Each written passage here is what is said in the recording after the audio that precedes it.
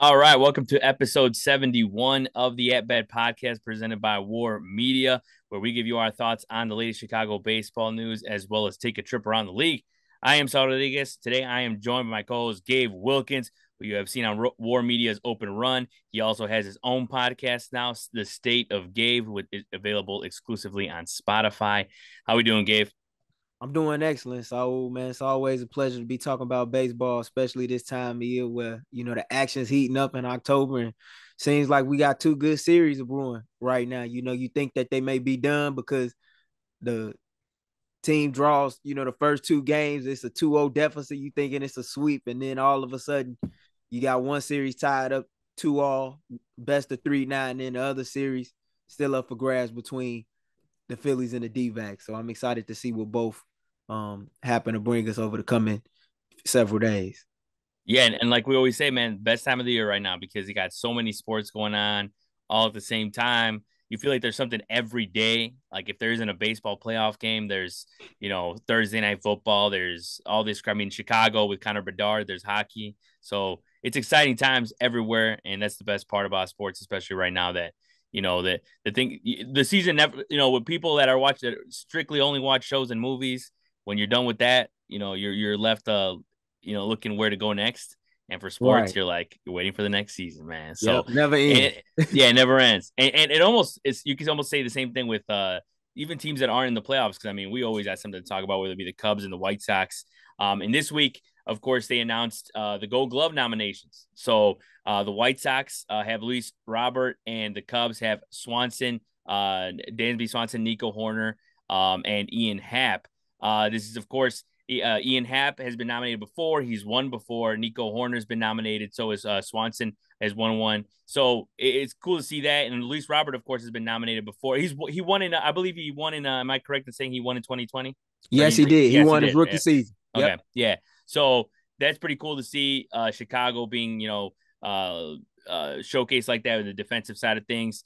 But what do you think about not only that? We'll, we'll talk. You can uh, say what you want with the Cubs guys because obviously with the Cubs guys, like you know, we already you know we hear so much about Swanson his defense. Like I literally feel like every time he's on the national telecast, like Nico Hoerner, we know he's about he's one one. But Luis Robert, I feel like man, and we've said it here before. You, we, me and you know better than anybody. His defense is not talked about enough. I feel like like his he's obviously his bat is the best part of him in my opinion. Like he's just awesome, but his defense is also you could argue just as good. So, how do you feel about him being recognized again and him being able to have a chance now to win one because he has a really good chance of winning this year? Well, I think Luis Robert Jr. has earned it. Mm-hmm. As we we know in Chicago, he is one of the best center fielders in the American League. But over the last couple of years, following his Gold Glove in 2020, he's been in and out of the lineup due to health issues and the like. This year, we got a chance to see Luis Robert Jr fully healthy, playing in over 125 games. Even though he fell short, I think about eight or 10 games of his goal. He wanted mm-hmm. to play at least in 150 games this season. I believe he played between the ballpark of around like 140 to 142 games this season. But nevertheless, you saw what he could bring to the table on both sides of the field with his bat, and most importantly, in this case, with his glove. And he's one of the top three center fielders in the American League when it came to outs above average in 2023, with uh, alongside of Kevin Kiermaier and Julio Rodriguez, who he'll be competing against to vie for a shot at earning his second Gold Glove in the last four seasons, which would be an impressive feat for him and should go to show not only White Sox fans but fans across the country just how impactful and special of a player that La Pantera can be when he's you know, fully healthy and, has a chance to rock out and play every single day because we know what he can do and we know what he brings to the table. And I think as the years go along, if he continues to stay healthy, it'll be many more gold glove nominations and hopefully more gold glove awards to come and potentially silver sluggers as well, which I wouldn't be shocked if he's nominated for once they reveal the list for those. Yeah, yeah, hundred percent, man. I mean, the guy's definitely in the running for that as well. Um, and that, and, and you know what's crazy to me is that Kiermaier changes uniforms and he's, you know, does it doesn't matter. He's nominated again in there and he finished with the same um outs above average as, as Luis Robert. It's crazy to me just because like this dude does it year in, year out. Like obviously we all know that offensively, he leaves a lot to be desired. But when it comes to the defensive side, he makes up for it. But yeah, it, it's cool to see when it comes to, to Luis Robert. I mean, I always love seeing any Chicago, uh, you know, baseball player get recognized like this. And I think that, like I said, he, he needs to be recognized more for his defense. And damn, I mean, honestly, it's scary to think that he can only get like he can still get better from now here and, and still, um, you know, get up to the ranks of being nominated every year and maybe even winning every year. So, I mean, we we've noticed and we've talked about again on this show the fact that you know Mike Trout in the last few years hasn't been the same defensive player, hence him not being nominated. I know he's injured for a lot of the year, but even when he is healthy, he has regressed defensively. So you know that that mantle is is up for the taking at this point when it comes to, to Gold Glovers in center field. So uh, Luis Robert's definitely a place to do that. So um, on the National League side, you know, with the Cubs, um, it was you know I expected uh, for me honestly Swanson and Hoerner were the ones that were like a lock. Um, to be honest, a little surprised Ian Happ was in there. I feel like he didn't have as good of a year as he had last year when he won one. Um, honestly, looking at the outs above uh, outs above average for outfielders, he doesn't seem to rank too high in that list because I, I don't really see him on there. But yeah, I mean, it's at the end of the day, yeah, yeah, he he actually he actually had negative outs above average for outfielders in the play mm-hmm. in, or in the in the uh, regular season for for the for all of Major League Baseball. So yeah, that's surprising, but at the same time, it's also one of those things. I'm sure they t- they take you know fielding percent the fielding percentage, you know the classic uh of uh, fielding stats. Um, but you know what? In, in in a year where the Cubs, you know, weren't able to make the postseason, I'll take uh uh a false nomination if that's the case here. so I'll, I'll take it regardless. But I know Ian Happ is one of those guys that he takes great routes to the ball. Um, I think you know he makes great decisions. I mean, I was there, and I saw it in person um, against Boston, even though the Cubs got wrecked in that game nine nothing, um, or it was nine nothing actually at one point, I should say. But um, I believe the final score was like 11 2. But I was there to see it in person. We were in the outfield, and Ian Happ uh, threw out, I, I don't remember who it was that was running a home plate, but he threw him out. And to see that in person, just to see his arm and see his accuracy, um, that, that, that just says it all on what he can do with his arm. So it, it's cool to have these guys nominated. So hopefully they're able to win it. Um, and of course, you know, I'm looking forward to see which uh, Chicago athletes get nominated for the um, Silver Slugger. I mean, Luis Robert's a lock, in my opinion. So we'll see where that goes.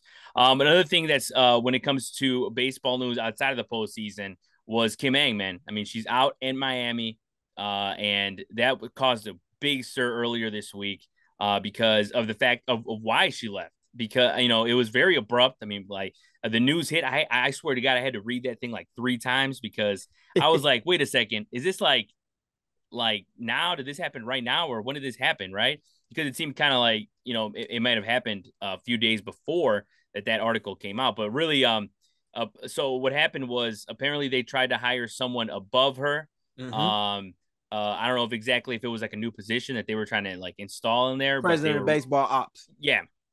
So they were trying to hire somebody uh without her without uh her knowing at first, I guess, and then she found out, and when she found out, she was like basically like I'm out. Um, and I mean that's like there's no other way to put it, but that's fucked up.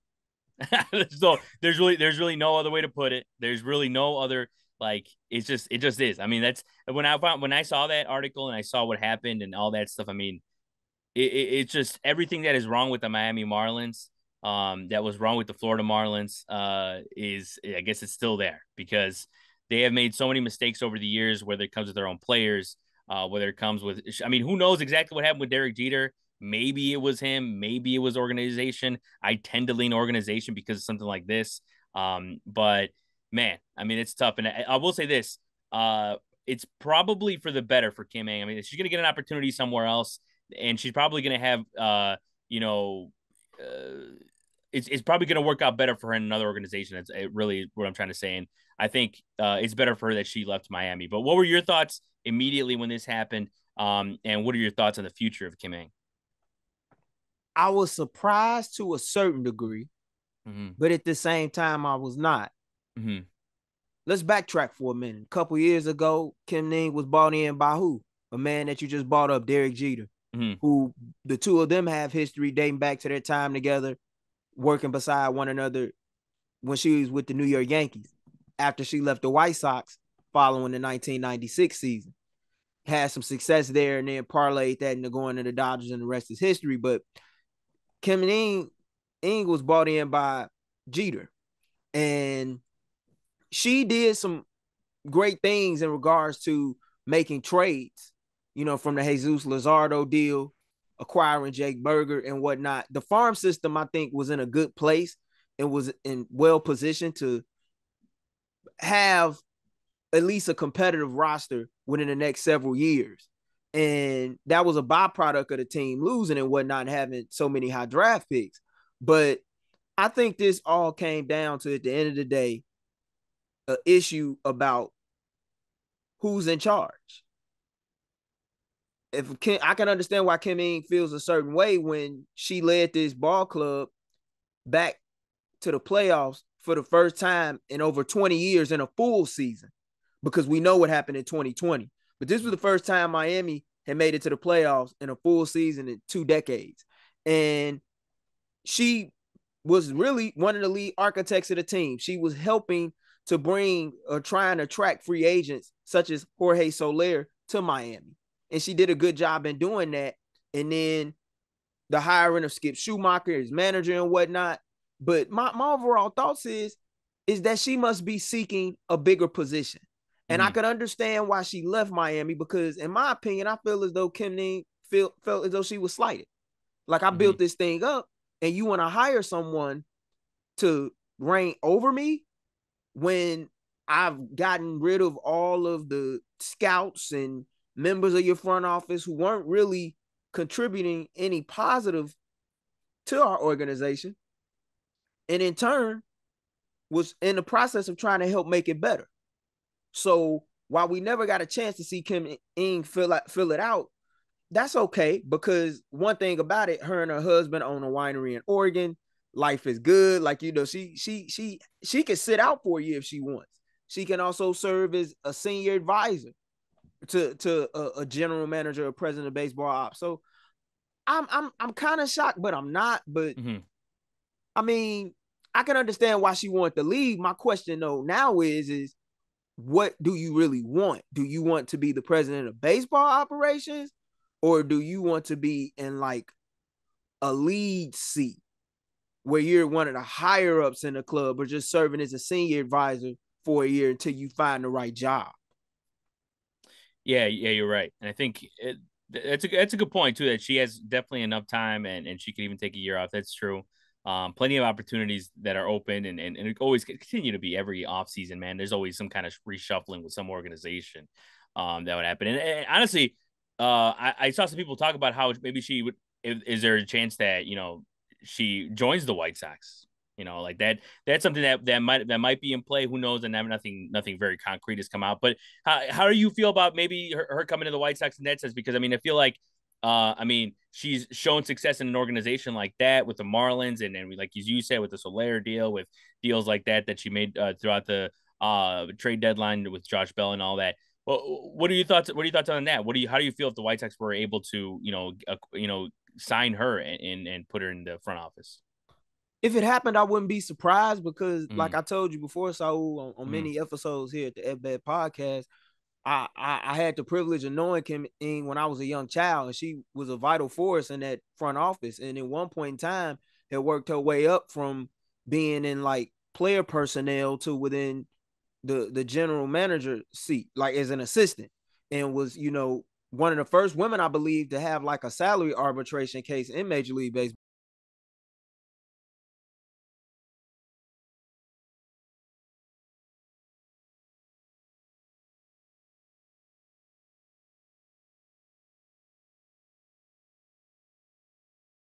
Me my only question would be is what exactly would her role be because when Chris Getz was hired as the general manager of the Chicago White Sox to serve in, I believe it's the senior vice president of baseball operations seat, he basically took Rick Hahn's title. Kenny Williams' title, on the other hand, is still open, which I believe mm-hmm. was executive vice president of baseball operations. Now, you say you want a single decision maker, and you say Getz is your single decision maker. If you bring Kim Ng in, I'm not pushing back against it, but I think you leave a lot of White Sox fans with the question of who's really running the ship. Is it Kim Ng or is it Chris Getz? Now, if I see if, if Kim Ng comes back, me personally, I believe she'd be coming back on a senior advisory role to Chris Getz. And I think from a PR standpoint, that might work for a fan base that understandably so to some degree is very impatient and wants to see a winner built here immediately after waiting through several years of a rebuild that only netted a division title and a couple playoff appearances with only two postseason wins to boot for it. Yeah, and, and also it, what comes into play as well is, as you say, she might be looking for a bigger, like you know, a, a bigger role in an organization that she might not find with the White Sox. Obviously, you know, with with Chris Getz at that position, um, and all that. So yeah, she might be looking somewhere else, and you know, there's plenty, like I said, plenty of opportunities. So hopefully, she finds something this offseason. If not, uh, regardless, hopefully it works out. But uh, speaking of uh, of uh, women in Major League Baseball, man, they obviously another thing too that they uh that came out this week was the Giants that they interviewed the first uh woman uh for a man MLB manager position, which is Alyssa Nakken. So that's awesome. That's another uh, piece of uh, baseball history that was made this week. So um, hopefully she gets a fair shot there, and you know, and and get and you know, we'll see what happens there because the Giants are in for a big year. No matter who the manager is next year, Whew, I mean, it, they could have Ohtani on the team. They could have I don't know what you know. They could anything could happen next year, but they're really eyeing next year as, as a key, you know, as a key uh, stepping stone to to um you know get back to the you know World Series contention and all that. So uh, like I said, hopefully that works out for her and the Giants uh, overall in general. But uh, I'll use that to as a segue for the postseason because, as you mentioned, Gabe, you know, crazy time of year, awesome time of year, and these series that honestly we not necessarily thought would be over by now, but when it comes to you know record wise uh, or the way things are going on on the NLCS side, I, I was surprised the Diamondbacks won uh, that third game, but we'll talk about that. And you know that series is, has surprised me, especially after those first two games in Philly. On the ALCS side, it's basically going as as we kind of wished for. Um, honestly, when it was two nothing, I was like, man, this might be quicker than I thought. Like it might be over quicker than I thought. But no, Astro said, hell no. They want to put the, they want to give us popcorn and you know want to put us in our seats and uh for a long series, and I'm happy for that. So uh, we'll talk about that one last, but we'll start with the NLCS. As I said, I honestly thought when it, when it was two zip as well. Like I was like, this one, this one should be over soon. And I'm not saying it won't be because it could easily end four one. But I will also give credit where credit is due. The Diamondbacks played Diamondbacks baseball in Game Three to come out and win that game. And I know, and I, I probably know better than anybody right now at this point because I saw seven of those uh, wins against the Cubs in September, and this that win uh, in Game Three was just about like 80% of those games. Like they just pitched well.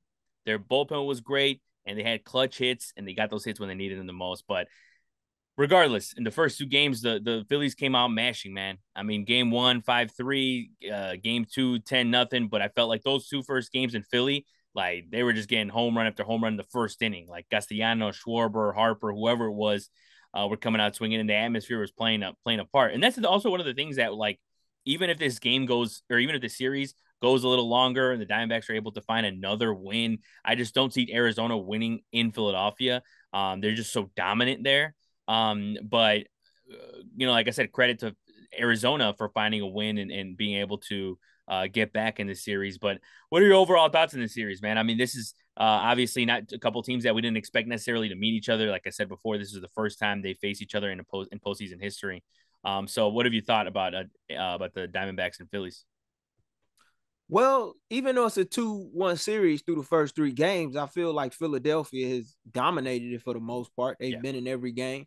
And it's no need to hold your head down after losing game mm-hmm. three in the fashion that you did because it was a very tight ball game. And it wasn't, it was the first game actually in the series where the Phillies didn't pounce on Arizona early and right away. And I think that made a big difference for a young Diamondback squad who got impressive pitching performances from their starter Brandon Pfaadt, as well as you know their bullpen and Saalfrank and Thompson and Ginkel and Sewald. So anytime you can hold the Philadelphia Phillies offense in check, I don't care if you're playing in Citizens Bank Park or at Chase Field like they're playing in downtown Phoenix. You, are gonna take that, and you're gonna more than likely have a chance to win the ball game more often than not. But the man that really deserves a lot of credit in regards to Arizona finding a way to pull that game out yesterday is Ketel Marte. Mm-hmm. Ketel Marte, I believe, is like five for eleven thus far in the series, and you take him off the team. I don't know how they're generating the majority of their offense right now because through the first three games, Arizona as a team has not really been too great at the plate. And I think that's been the biggest difference in the series. However, after winning yesterday with a pivotal game four on the horizon this evening as we record this podcast, if Arizona can win that, it's a best of three series and anything can happen. And with a pivotal game five and a tie series being in your ballpark, you never know because all you got to do is just take care of the crib. And, and you go to Philadelphia and you put yourself in a position to where all you got to do is just take one game.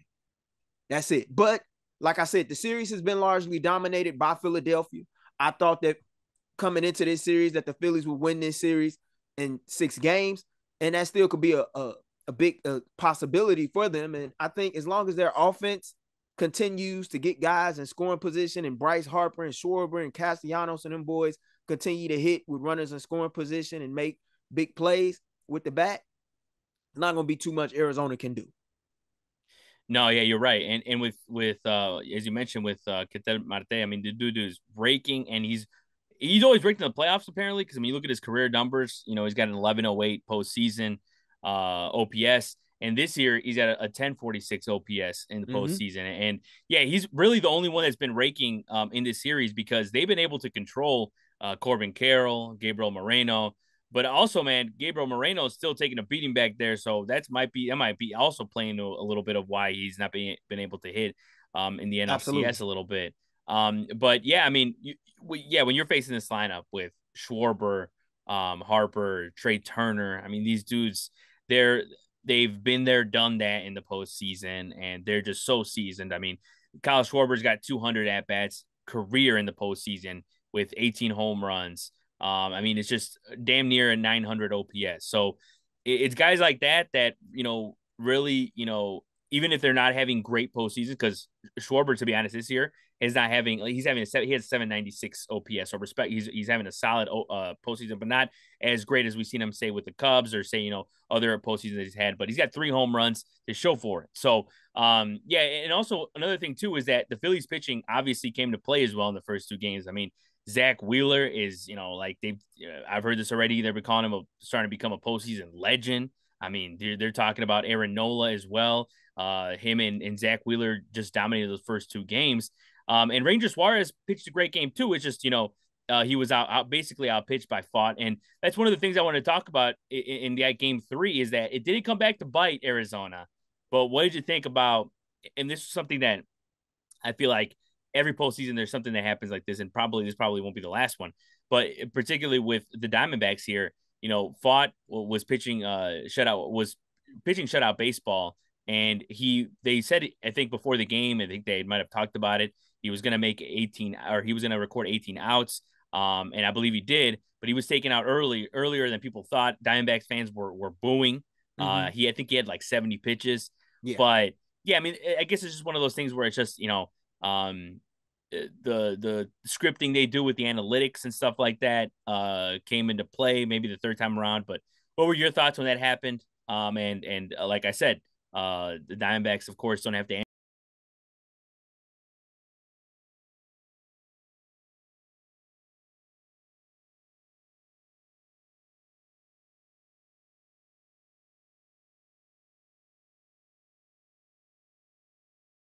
or up a run and you know he was in a jam or something like that. So it, it in that case they dodged a bullet. You know it mm-hmm. wasn't like the situation when you had Jose Berrios in Minneapolis getting pulled for Kikuchi. So I, I I didn't make too much of that. I think Ranger Suarez has been phenomenal for a game three starter. And you you will take the outings that he's given you. He's put you in a position to win ball games I mean, yesterday was just one of those old school games, man, where it was a scoreless game for the majority of the of the, of the contest. Phillies had a chance a couple of times with runners in scoring position to extend their lead after drawing first blood. They didn't do it. And when Arizona had their opportunity in the, in the bottom of the ninth with Craig Kimbrel let some in on base via the walk and whatnot, Ketel Marte took advantage. And I, I want to say something about Ketel Marte real quick. I, I give that guy a lot of credit because this is a dude who was an all-star in his career, has gone through a lot of injuries. And this year, for the first time in the last few seasons, he's been very healthy. And I always was a believer in Ketel Marte. And I thought that if he was ever in the right situation, he would shine on stages like these. And I'm so glad to see that he is because he's always been a big time player. He just hasn't always been able to stay healthy. But this year he's been fully healthy and he's reaping the benefits and the blessings of it. So kudos to him. Yeah, and and still being 30 as well, still has plenty of time. And I know the Diamondbacks signed him to a big deal. So I mean, look, I mean, look, the way he's been playing has been great. Um, and he's really, really been the leader there. Cause I know Corbin Carroll, of course, still a rookie, um, still a long way to go. And and I, I don't really put a lot on him for you know obviously he's having a, a cold NLCS, but he's he had a great postseason up to uh up to up to this point. So and he can still get hot. He can still get hot, and who knows what happens because he's a great hitter. But um yeah, I mean like, like we said before, I mean I, I was hoping this one like would go to six games and and you know five six games and it and obviously it looks like it's heading that way so that's good because of course you know more baseball is a win for everybody um and you know as much as uh seeing guy you know there's been a lot of blowouts. I mean, that game two was a perfect example. I was like, man, 10 nothing. Um, you know, that is that how this series is gonna go? And the Diamondbacks said no. So um, you know, that, that's good. And hopefully the series goes a little longer because, you know, those the way that uh, Torey Lovullo manages those guys and the way they respect him, you could just tell in those post game conferences the way they talk about him and the way this team kind of rallies around him. And even guys like Kevin Longoria, like they have great leaders. So there's a reason why they're here as well. So that that's another thing too that you know, they beat the Dodgers. And I think a lot of teams, like, regardless of, you know, oh, the Dodgers choke in October, blah, blah, blah, this, like, at the end of the day, you got to go out there and play those games and win them. And they did 100%. that. So they, so, and, you know, a lot of people may argue, hey, like on paper, like, you know, heading into October, Dodgers were better than the Phillies. So they, they were out there and they've, they've been able to beat them. But we've seen uh, who the Phillies are and we've seen what they can do. So that's one of those things where um, I won't be surprised if it ends in five. Won't be surprised if it ends in seven at this point now. Like Diamondbacks got me fully convinced, you know, that they could string some wins together because I mean Gallen can go out there again and dominate again. You know what I'm saying? Like he can go out there and, and bounce back. I mean, guys like that, um, they're, they're they're veterans and they're able to to put stuff together, right? And one thing about baseball, so every mm. day and every game is different. Yes, sir. You know, you you like you say, you bring up game two, they got knocked out by ten, but mm-hmm you get on a plane, get a a, a, a hangover day, you know, a day mm-hmm. off rather, and you you you go to your, your own ballpark. It's a new game, zero zero. You know, new ball rolled out on the mound and everything. So every every day is different, you know. And, and as far as I'm concerned, until the final out is recorded in the series, you always have a chance.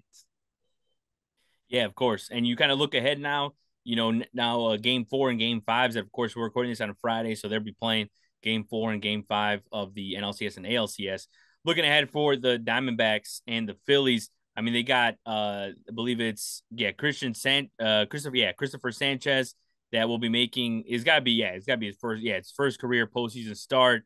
Um, I, it might be at this point. I'm not fully privy to uh, the Diamondback strategies. Maybe it's an opener in that case. Who knows? Um, but and I know, but I know for a fact that for the Diamondbacks, it is an opener because it's Joe Mantiply that will be starting. So it looks like we might have a good old fashioned uh, bullpen game uh, for these two teams, um, and that might be wild. Um, so, and of course, in Arizona where the ball flies, who knows? We might have a big, you know, big day for offense. Got to, um, yeah, got to. That, yeah, that, has got to be the goal for both sides. It's mm-hmm. like pretty much whoever whoever strikes first, in my opinion, in, in this game has the upper hand. Oh yeah, yeah. You you you want to get into that bullpen. Whoever's mm-hmm. the first to get into that bullpen, it's on. Yeah, that's the thing too. Is that the, so the Philly, the Phillies execute and they've executed plenty of times with that bullpen, even though it does it's not star studded. But we obviously saw Craig Kimbrel. We saw him, you know, shades of of you know Craig Kimbrel with the Cubs. Uh, like it, it, was it was rough. Or, or I got or, some course, too. Or, or with the White Sox. Yeah, game two, game we, two we, of the we, twenty one ALDS. I remember. yeah, there you go. So yeah, so their their their bullpen, while be, uh, I'll be a good, still has some some holes in there. So um, yeah, it could go either anyway. And, credit to the the Diamondbacks uh pitch or uh bullpen as well with Saalfrank and, and all those guys and those guys, you know, they could really throw it, and and they have some great vets in there. But I, the one game too that I'm looking forward to is Saturday because that's that's a good old fashioned ace off uh, with Wheeler and Gallen. Um, so I'm hoping Gallen can bounce back because you know he he didn't throw a lot of mistakes, but it's one of those things where whatever mistake he threw, they took advantage of in the first inning. So hopefully he's able to bounce back because it's a guy that's not only a Cy Young candidate, but he's one of the best pitchers in baseball. So and uh, and Wheeler, by the way, I was looking at his uh, postseason numbers. Um, and his strikeout to walk ratio in, in the 2023 in the 2023 postseason is 26 right now. Uh, so this guy's yeah, I can believe it. Yeah, it's, so it's an automatic W when he's up there. You don't bet yeah, against Zack Wheeler this year in the playoffs, man. Let alone the last couple years. It, Wheeler and Aaron Nola have been money, yep. and everybody love to talk about how Aaron Nola had an up and down regular season. Mm-hmm. I think he's gonna be cashing all the way out to the bank after this postseason, no matter how it ends for Philadelphia. Oh yeah, and, and it's not even like it's one of those things where he's not even going to get paid necessarily for this year. It's it's the past, what he's done in the postseason, what he's Absolutely. doing right now in the postseason. Like you he is an ace and he is a guy you could trust going into a game one of a postseason. Like he's answered that bell plenty of times, no pun intended. So I mean that dude is is is ready for it. So I'm happy to see where he goes. Um, so we'll see.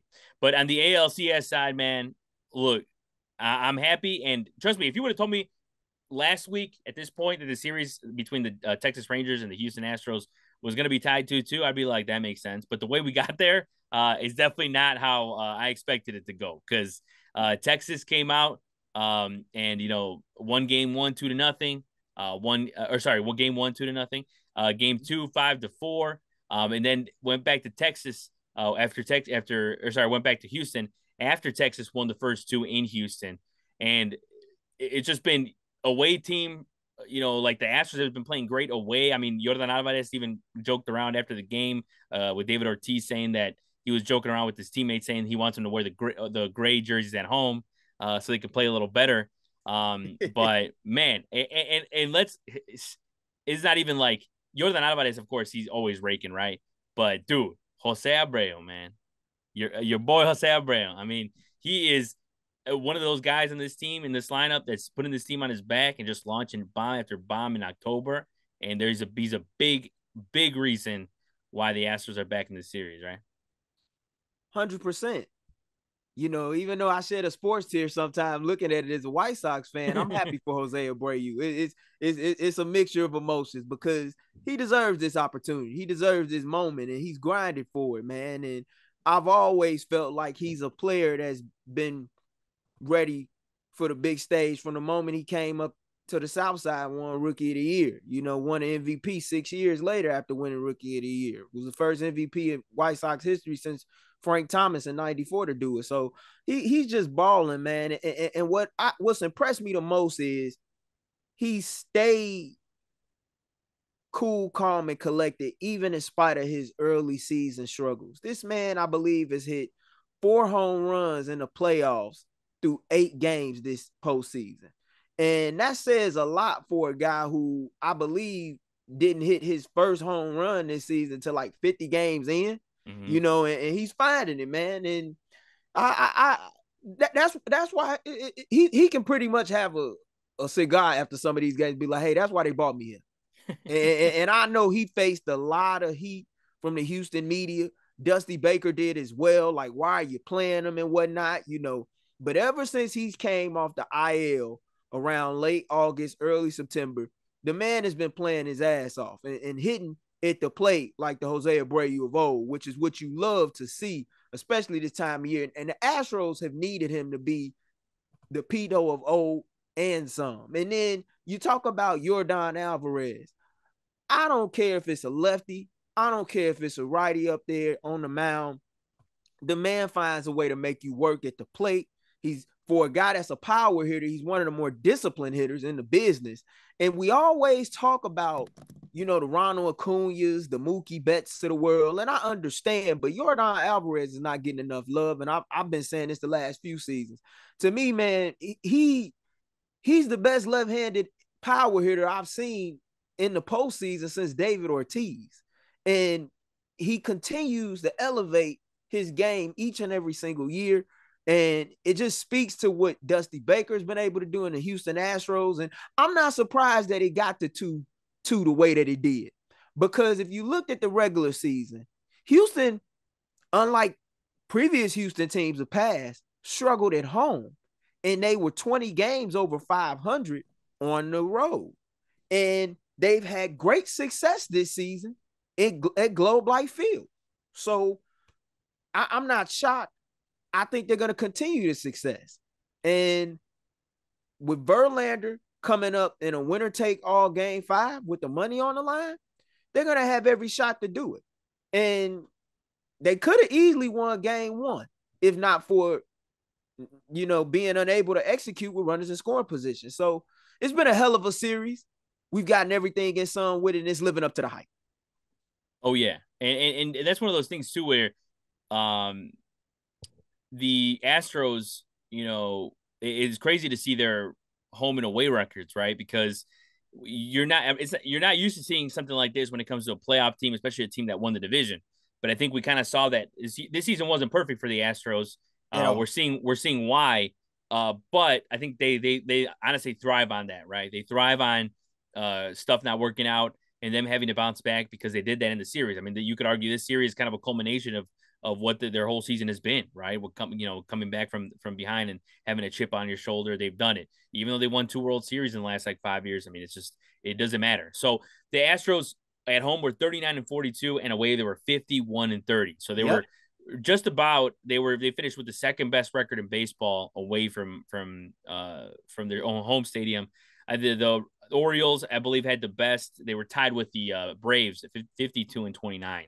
Um, so yeah, I mean, it says a lot of them of how they are of how they are as a team and how they are as, as resilient from playing away because it's not easy, especially in Texas where that stadium is loud, um, just as Houston is. But that stadium, I mean, that that Texas Ranger Stadium is just gigantic and just you know has a dome, you know, and so we've seen plenty of postseason games that get loud, even if it's not Texas playing there. So, um, and when it comes to you know Jose Abreu, I mean, dude, I mean, this guy, and and we talked about him in, in that series against the Twins and how he he's had a great uh, career against the Twins, so that was not surprising. But him launching home runs in the ALCS gets a little more serious because he's doing it against the Texas Rangers, and you know these are guys that you know this pitching staff for the Rangers has been one of their you know has been probably their best part of, of or the best part of their team in the postseason, which is surprising, right? Because all year long we talked about their offense.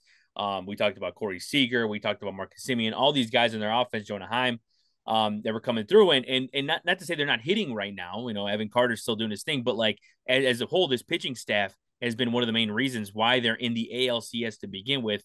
And we saw that with Montgomery. You know, we just we just saw you know guy a, a guy like uh, Heaney struggle though. That's what happened in in in in the last in in the, uh, you know these last two games is guys like that struggle. So is it one of those things where do you see the the Rangers pitching staff holding up? Because look, at the end of the day, Max Scherzer uh, coming in after not pitching a month, a, a, guy his age, not saying not saying before the game, I wasn't saying he didn't have it in him because I, I believe he did, but it's just looking like it's a little risky to put a guy like that out there at this time of year when you have certain guys, certain guys you're, you're gonna have to face like these Astros. It's no game, you know, like you can't mess around with those guys whatsoever. Um, do you think the Rangers pitching staff still has what it takes though to bounce back in the series and and lead these guys to the World Series? I believe we're about to find out, so mm-hmm. I, I truly believe we're about to find out. This is the first time that the Rangers have been tested in these playoffs. We got to think, man, that this was a team that had won seven games in a row going into game three and then you put Max Scherzer in as your game three starter, like you said, after sitting for over a month and a half. And it's a big difference between a bullpen session versus being thrown fresh into the frying pan. You know, when you was inactive for the last month due to having to recover from your injury and all of that. So we're gonna see because over the last two games, Houston has got into that bullpen something that Baltimore didn't do and Tampa Bay sure as hell didn't do. So now they're getting tested. You saw Bradford out there, the lefty reliever, on back-to-back nights, game three and game four. You know, like when your when your starters aren't able to go at least six strong and give up no more than three earned runs, like giving you quality starts, like it's they they're gonna tap into your bullpen. So Jordan Montgomery, in my opinion, this is the biggest game of the playoffs for the Rangers because it's your last home game that you have in this series. You, you have to win it. You, you you have to. If you don't, to try and take two on the road in Houston, where you know that crowd is gonna be into it, it's tough. But that was always my question about the Rangers, and I think you know that as well as I do. And everyone's question was, could the bullpen hold up? We're about to find out now because when you lose back to back games at home the way that they have, man, you, hey, you you you got to come with it. Yeah, no, and you're and you're right because it's one of those things where going into the series we talked about going into the postseason in general, um, the their Achilles heel was the bullpen, right? And where you know a game like yesterday is a game you don't want to see when your Achilles heel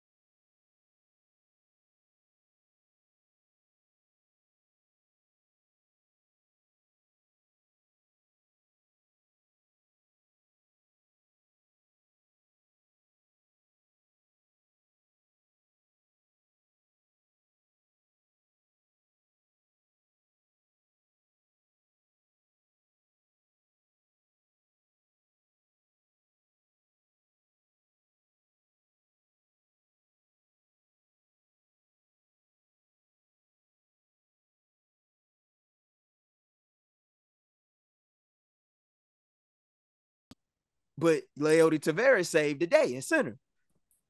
I didn't understand that. As much as I hate to question Bruce Bochy, who's a Hall of Fame manager, when it's all said and done, Yordan Alvarez, you can't really play matchups with him at this point.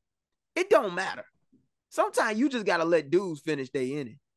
And if Dane Dunning has been a guy that you can trust and is a spot starter and is a reliever, I- am curious if he's in that situation again. How does he play that? Yeah, that, that's true. And and we've known uh Bruce Bochy to be a you know a great manager with his bullpen, a great Absolutely. manager overall. So yeah, it's another it's another test, especially I mean, look, and, and, and, baseball is way different from what it was. Even you can make an argument when it comes to bullpen, when it comes to uh, decisions, when it comes to analytics, since like you know his days with the rank with the sorry with the Giants.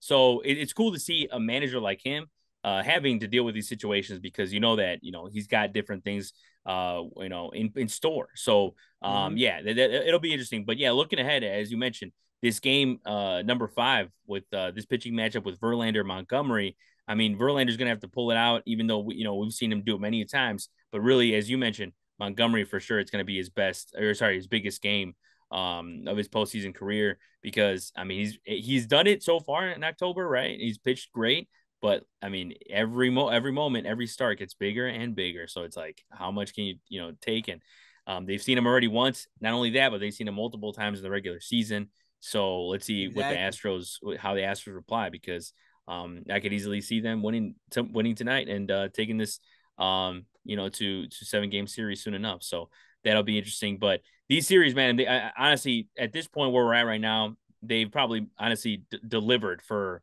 for as much as we can expect. I mean, the, like I said, the Diamondbacks, uh, hopefully they're able to win another game to even keep stretching it out.